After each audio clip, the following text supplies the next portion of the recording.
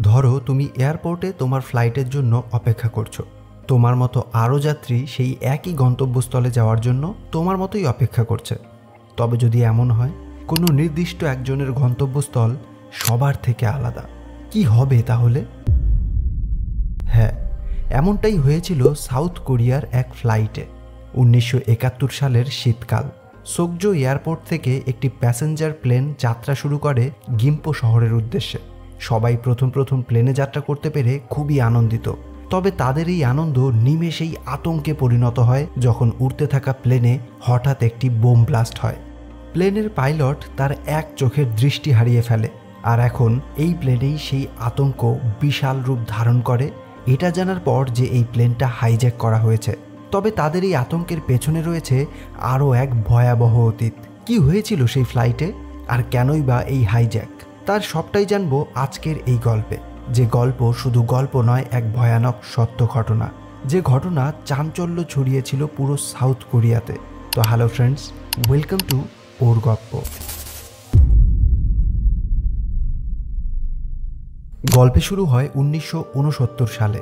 এখানেই আমরা দেখতে পাই গল্পের প্রধান এবং সব থেকে গুরুত্বপূর্ণ চরিত্র তাই ইনকে, যে একজন কোরিয়ান বায়ুসেনা। তাইন তার একজন জুনিয়রকে জেট প্লেন চালানোর বিভিন্ন রকম পদ্ধতির ট্রেনিং দিচ্ছে। এমন সময় তার কাছে অর্ডার আসে নর্থ কোরিয়ামুখী কোরিয়ান ফ্লাইটটিকে আটকানোর। ককপিটের পাশাপাশি যেতেই তাইন দেখতে পায় যাত্রীরা ব্যাকুল হয়ে জানালার বাইরে তাকিয়ে আছে।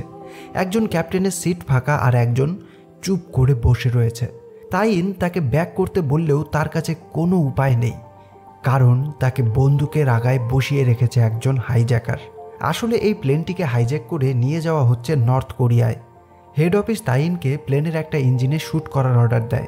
কিন্তু প্লেনে এতগুলো যাত্রীর জীবনের কথা চিন্তা করে, তাইন সেই অর্ডারটা পালন করতে পারে না। সে ককপিটের পাশাপাশি গিয়ে ক্যাপ্টেনকে বারবার বলতে থাকে প্লেনটিকে ঘুরিয়ে নিতে।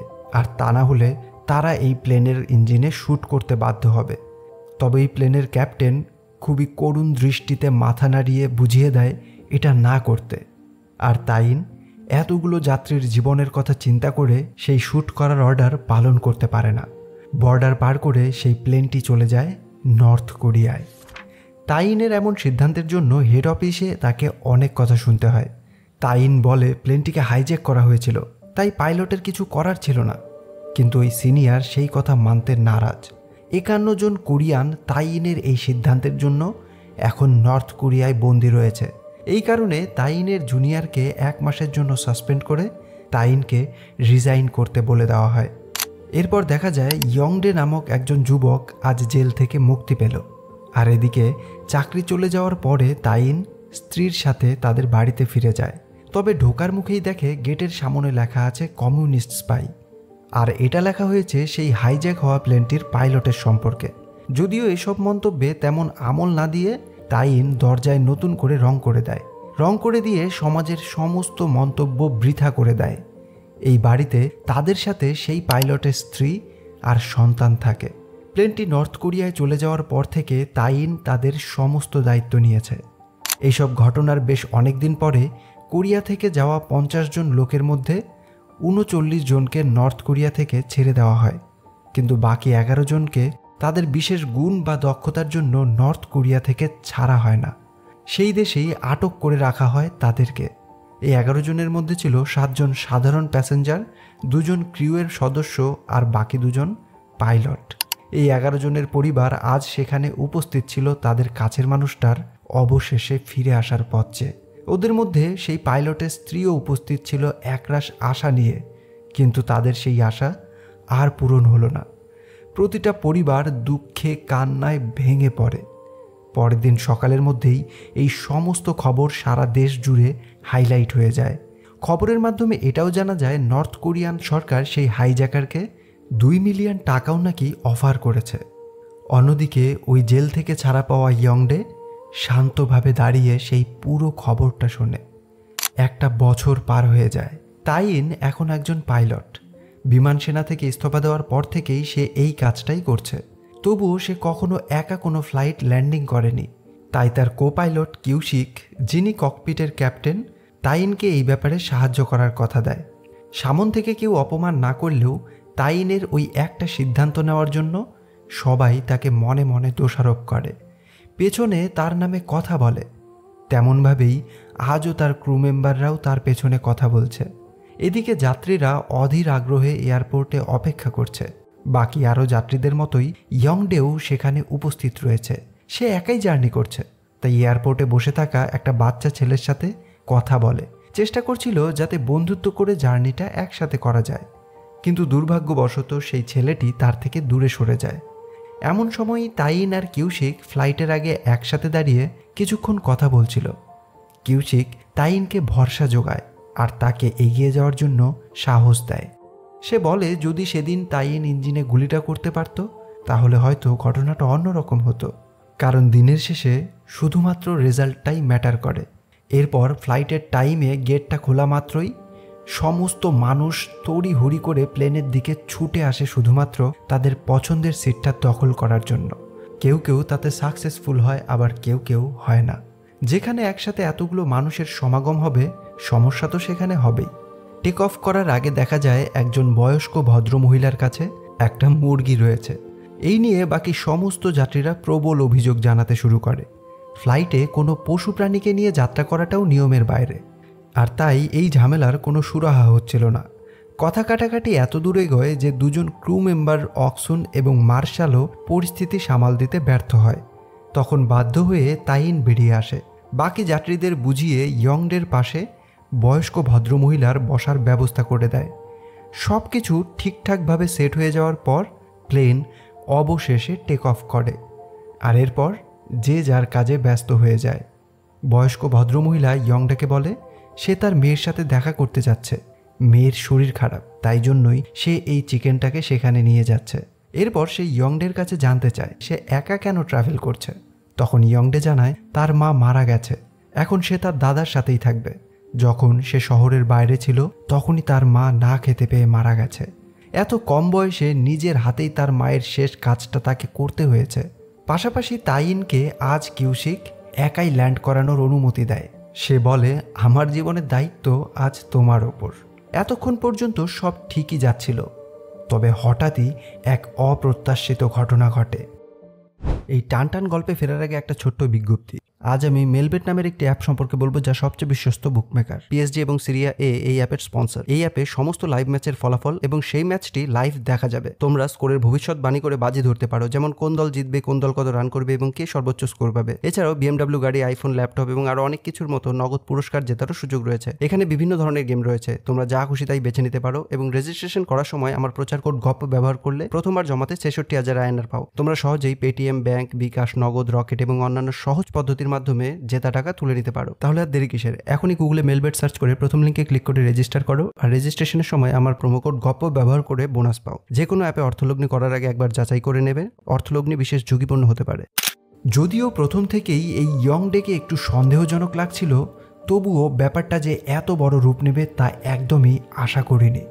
অক্সুন আর মার্শাল যখন যাত্রীদেরকে খাবার ডিস্ট্রিবিউট করছিল, সেই সময় ইয়ং ডে হঠাৎ করে নিজের সিট থেকে উঠে ওই বয়স্ক ভদ্রমহিলাকে বলে ওঠে, তোমার মেয়ের সাথে দেখা হতে অনেক দেরি হতে চলেছে। আর এই কথা বলেই সে পাইলট কেবিনের গেটে জ্বলন্ত বোমা লাগিয়ে আর একটি বোম মার্শালের গায়ে ছুঁড়ে মারে। কেউ কিছু বুঝে ওঠার আগেই এই উড়ন্ত প্লেনে দু দুটো ব্লাস্ট হয়। এই প্লেনের মেঝেতে বড় গর্ত হয়ে যায়। যার ফলে সজোরে হাওয়া ভেতরে ঢুকতে থাকে।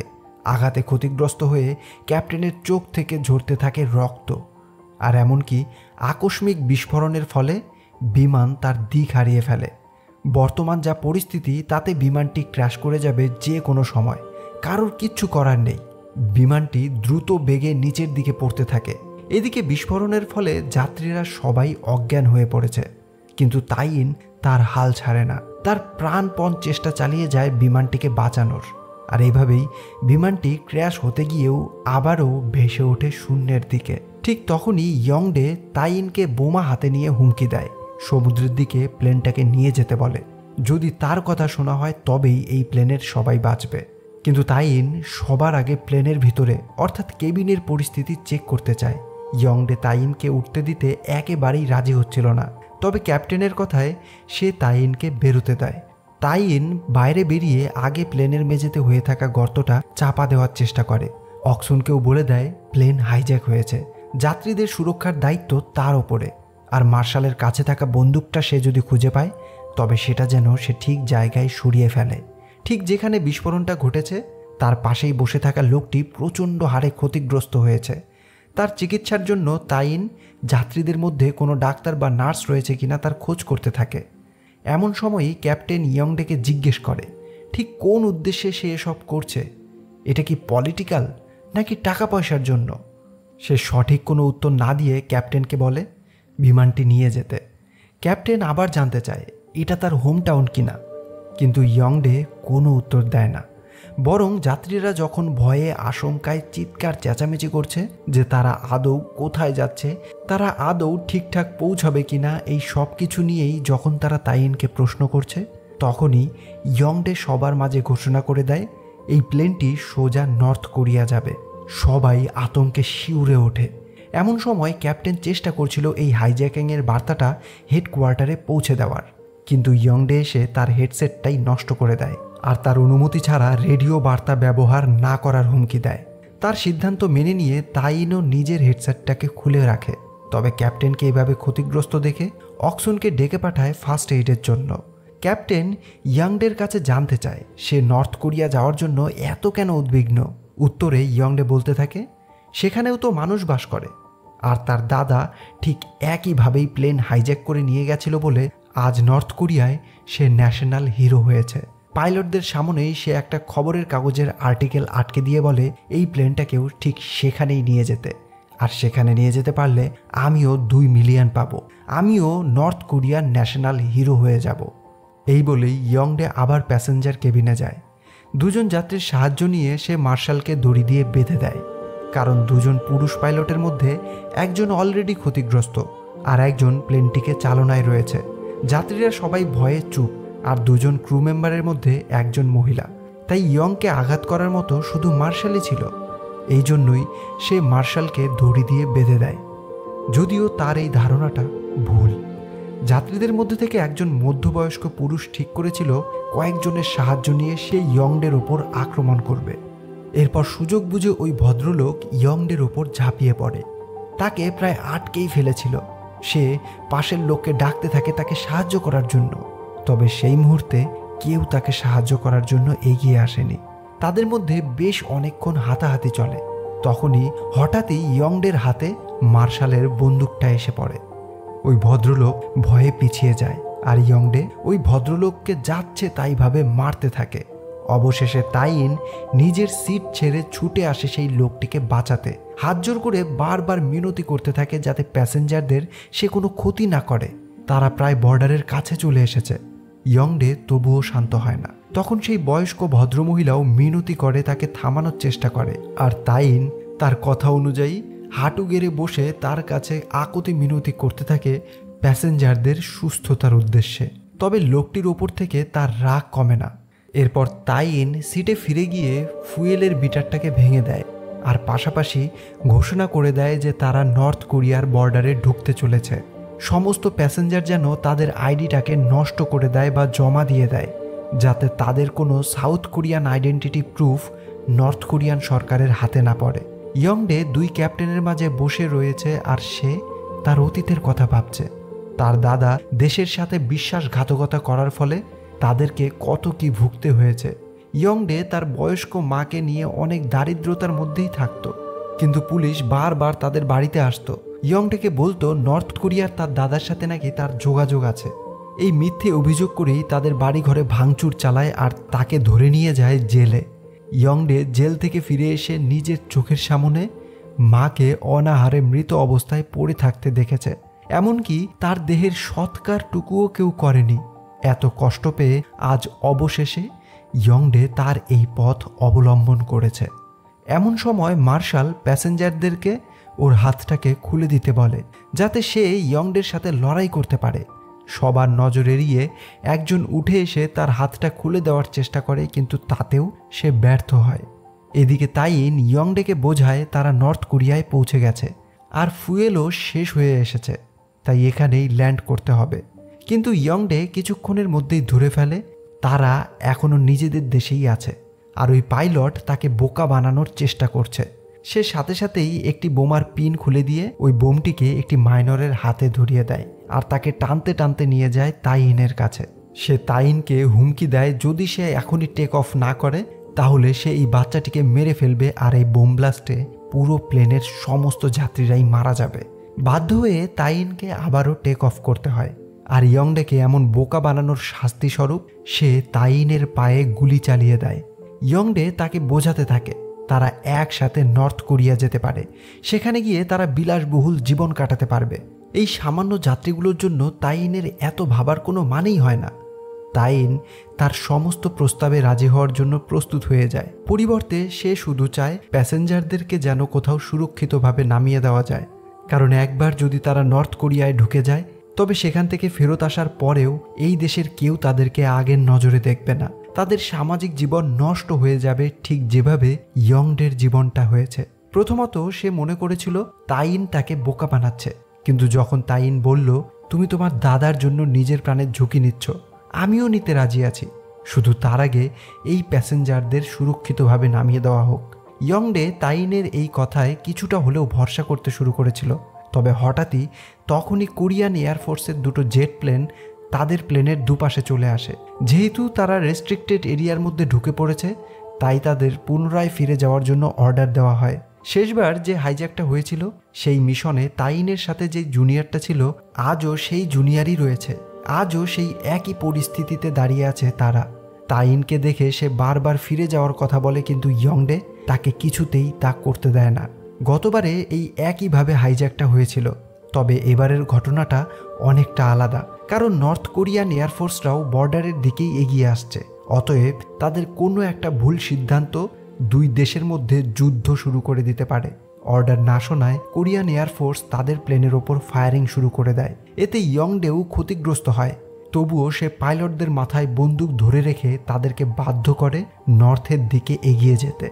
তখন তাইনের জুনিয়র বুঝতে পারে যে এই প্লেনটাও হাইজ্যাক হয়েছে। আর হেড অফিস থেকে পাওয়া শ্যুটের অর্ডার সে উইথড্রল করতে বলে। তবে গতবারের মতো এই একই ভুল অপরজন করতে চায় না। তাই সে উইথড্রলের সম্মতি দেয় না। প্রতিটা ফায়ারিংকে ডচ করতে করতে তাইন সীমান্তের দিকে এগিয়ে যায়। একেবারে হুবহু উনিশশো উনসত্তরের প্রতিচ্ছবি। তবে পরিণতিটা এখান থেকেই পাল্টে যায়। তাইন ককপিটের নোজ একেবারে সীমান্তের সামন থেকে সম্পূর্ণ একশো আশি ডিগ্রি পাল্টে দেয়। একজন মানুষ নিজের কাজে ঠিক কতটা দক্ষ হলে তবেই এমনটা করতে পারে। আর এতে সেই প্লেনটি যেন পুরো আপসাইড ডাউন হয়ে যায়। আর এই জন্যই প্লেনে দাঁড়িয়ে থাকা ইয়ংডে নিচে পড়ে যায়। সে বহু চেষ্টা করতে থাকে ককপিটের সামনে আসার জন্য, তবে কোনোভাবেই আসতে পারে না। এরপর প্লেনটিকে ঠিকঠাক পজিশনে এনে ক্যাপ্টেনের হাতে দায়িত্ব ছেড়ে তাইন উঠে যায় ইয়ংডেকে আটকাতে। তাদের মধ্যে চলতে থাকে অনেক হাতাহাতি। ঠিক এমন সময়ই মার্শাল পেছন থেকে ইয়ংডের ওপর গুলি চালায়। তাইনের কাছেও এটা খুবই অপ্রত্যাশিত ছিল। সে সাথে সাথে বলতে থাকে, আমরা প্রথমে তোমার চিকিৎসার ব্যবস্থা করব, তোমাকে বাঁচতেই হবে। তুমি নিশ্চয়ই চাও না যে তোমার মতো আর বাকিদের জীবনগুলো কষ্টের হোক। তোমার দাদার একটা ভুলের জন্য সমাজ থেকে তুমি যেই কষ্টগুলো পেয়েছ, সেই একই কষ্ট যেন এই প্যাসেঞ্জারদের জীবনে না আসে। তখন ইয়ংডে ফিরে দেখে সবার দিকে। হয়তো তার মনেও অনুশোচনা আসছিল। হয়তো সেও আবারও সুস্থ জীবনে ফিরে যেতে চেয়েছিল। তাই জন্যই সে আরেকবার তাইনের দিকে এগিয়ে যাচ্ছিল।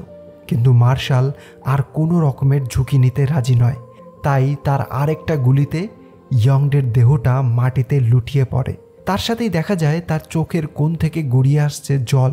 হয়তো এটা তার অনুতাপেরই কান্না। তবে এমন সময় তার হাতে থাকা সেই বোমটা ছিটকে পড়ে যাওয়ায় আবার জ্বলে ওঠে। সবাইকে বাঁচাতে তাইন নিজেই ঝাঁপিয়ে পড়ে ওই বোমাটির ওপর। আর ওই প্রবল বিস্ফোরণের আঘাতে তাইন সম্পূর্ণ রক্তাক্ত হয়ে যায়। তার একটা হাত পুরো ক্ষত বিক্ষত হয়ে যায়। মাথা থেকে ঝরতে থাকে রক্ত। সম্পূর্ণ দিক বিদিক শূন্য হয়ে যায় তার। তবুও বিশ্রাম করার সময় তার হাতে এখন নেই।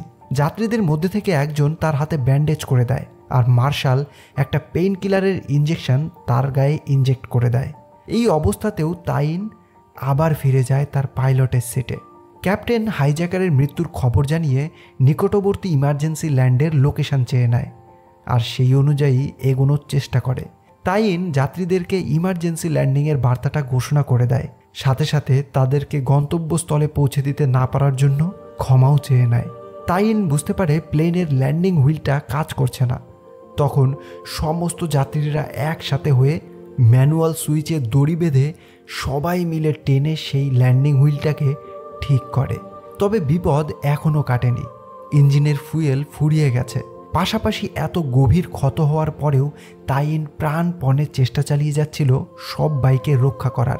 আস্তে আস্তে সেও নিস্তেজ হয়ে পড়ে। হঠাৎ করেই তাইনের চোখের সামনে তার স্ত্রীর স্মৃতি ভেসে ওঠে। শেষবার হাইজ্যাকিংয়ের ঘটনার পরে যখন সে আত্মগ্লানিতে ভুগছিল, তখন তার স্ত্রী তার পাশে ছিল। তাকে মনে করিয়ে দিয়েছিল যে তাইয়েন সব সময় তার নিজের কর্তব্য পালন করেছে। আর এই দৃশ্যই আবারও তাইনের জ্ঞান ফিরিয়ে নিয়ে আসে। তাদের প্লেনে ফুয়েল নেই। তারা আর ভালোভাবে ল্যান্ড করতে পারবে না। তাদেরকে গ্লাইডিং করেই ল্যান্ড করতে হবে। এরপর সমস্ত বাধা বিপত্তি মাথায় নিয়ে, এত বড় ঝুঁকি মাথায় নিয়ে শেষ পর্যন্ত তাদের চিহ্নিত করা জায়গার ওপর এসেই থামে। প্রতিটা মানুষ সুস্থভাবে বেঁচে বিমান থেকে বেরিয়ে আসে।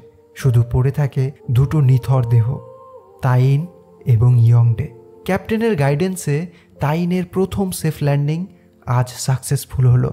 মোট আটান্ন জন যাত্রীর সাথে ক্রু মেম্বার এবং ক্যাপ্টেন সবাই জীবিত। তাইন নিজের চোখে সেটা দেখল। কিন্তু ক্যাপ্টেনের মুখে বাহবাটা আর সে শুনতে পারল না। সমস্ত ক্ষত সহ্য করার পর নিজের সমস্ত কর্তব্য শেষ করে তবেই চোখ বুঝল কো পাইলট তাইন। সে তার জীবনের প্রথম সেফ ল্যান্ডিং করে এই পৃথিবী থেকে বিদায় নিল। তাইনের এই আত্মত্যাগ, কর্তব্যের প্রতি অনর থাকার কাহিনী এবং আটান্ন জন যাত্রী ক্রু মেম্বার এবং ক্যাপ্টেন সহ সবাইকে জীবিত বাড়ি পৌঁছে দেওয়ার কাহিনী সাউথ কোরিয়ার কমার্শিয়াল ফ্লাইটের ইতিহাসে সর্বদা স্মরণীয় হয়ে আছে। আর এখানেই এই গল্পের শেষ হয়। তো ফ্রেন্ডস এই ছিল আজকের গল্প। গল্পটি কেমন লাগল তা অবশ্যই জানিও। ভালো লাগলে লাইক কমেন্ট আর শেয়ার করে দিও। নতুন হয়ে থাকলে সাবস্ক্রাইব করে দিও। দেখা হবে পরের গল্পে। Till then keep loving bye